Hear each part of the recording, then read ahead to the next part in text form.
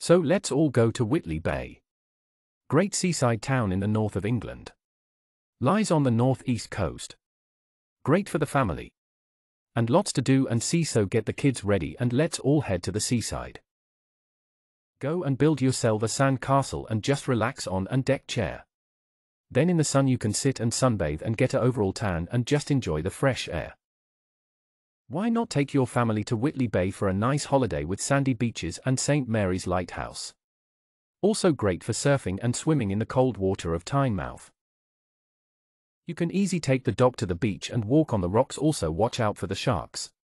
Only kidding. You could go down to the lighthouse and look for crabs.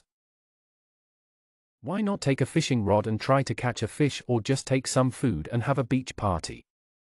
Also look out for wild birds so have a great time at the beach and enjoy your day out.